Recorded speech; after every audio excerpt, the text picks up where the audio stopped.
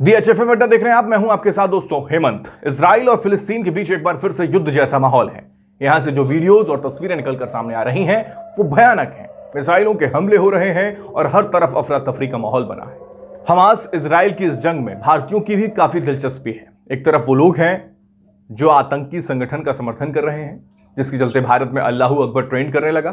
तो दूसरी ओर वो लोग हैं जो hashtag India stand with Israel को ट्रेंड करा रहे हैं। बहरहाल, इन सब के बीच सबसे ज़्यादा चर्चा जिस चीज़ की हो रही है वो है इसराइल का एंटी मिसाइल डिफेंस सिस्टम यानी कि आयरन डोम दरअसल, जब फिलिस्तीन के हमास संगठन ने इसराइल की राजधानी तल अवीव समेत कई शहरों पर हमला किया तो इन तमाम हमलों को इसराइल ने अपने एंटी मिसाइल डिफेंस सिस्टम से, यानी कि आयरन डोम की मदद से हवा में ही नस्तनाबूद कर दिया। और ये वही वीडियो है। और अब इसराइल की इसी anti missile defence system iron dome की जमकर तारीफ़ लगातार हो रही है कि आखिर ये बला है क्या?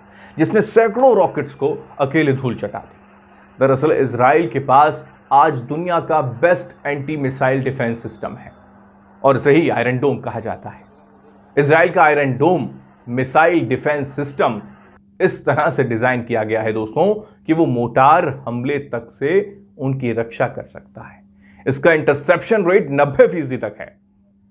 इसराइल अब कई anti ballistic missile defence system पर भी काम कर रहा है। साथ ही इसराइल इस तरह के सिस्टम को डिज़ाइन कर रहा है जो टैंक्स और शिप्स तक की रक्षा भी करने में सक्षम हो। इसे इसराइल की सरकारी रक्षा agency Rafael advanced defence system द्वारा डेवलप किया गया है।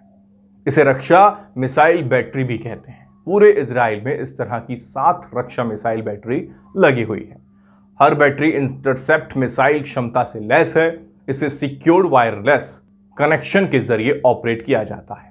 आयरन डोम में एक radar unit, missile control unit और कई लॉन्चर्स शामिल हैं। यह रक्षा प्रणाली हर मौसम में काम करने में सक्षम भी है। दिन हो या फिर रात हो, दोनों में इसे कोई दिक्कत होती नहीं। इसका डिटेक्शन पावर इतना ज़बरदस्त है कि हवा में ही मिसाइल को खत्म कर देता है।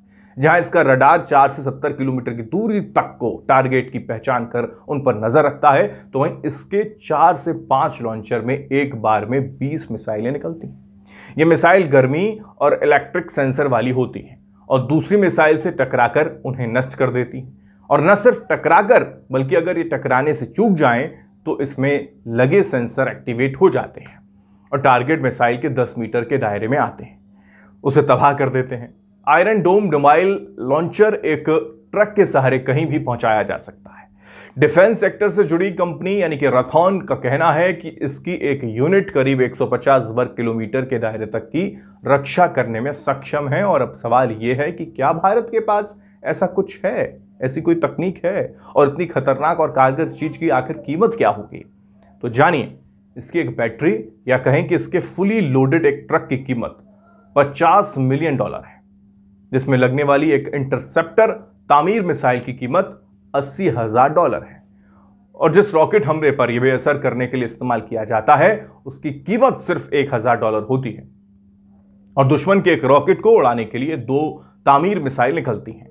यानी कि अगर पैसों के लिहाज से इन सारी चीज़ों को देखा जाए तो फिर दुश्मन की एक हज़ार डॉलर की मिसाइल के खिलाफ एक लाख साठ हज़ार डॉलर खर्च होते हैं, लेकिन फिर भी जो जिंदगियाँ और नुकसान ये मिसाइलें बचाती हैं, उनका आंकलन पैसों के हिसाब से नहीं किया जा सकता। और अब आखिर में बात करते हैं भारत की, क्या हमारे पास कुछ ऐसा है? क्या? तो हम आपको बता दें कि हम रूस से इसी तरह की एक तकनीक खरीद रहे हैं, जिसे एस फोर हंड्रेड कहते हैं। भारत इसके लिए पाँच बिलियन डॉलर खर्च कर रहा है, जो कि इसराइल की तकनीक से बड़ी बेहतर और महँगी कही जा सकती है। वजह भी है उसके पीछे। वजह है इसराइल छोटा है और भारत का क्षेत्रफल बड़ा है। इसराइल की तकनीक जहाँ चार से सत्तर किलोमीटर तक का एरिया कवर कर लेती है तो वहीं एस फोर हंड्रेड तीन सौ से चार सौ किलोमीटर तक के एरिए पर असरदार बताई जाती है।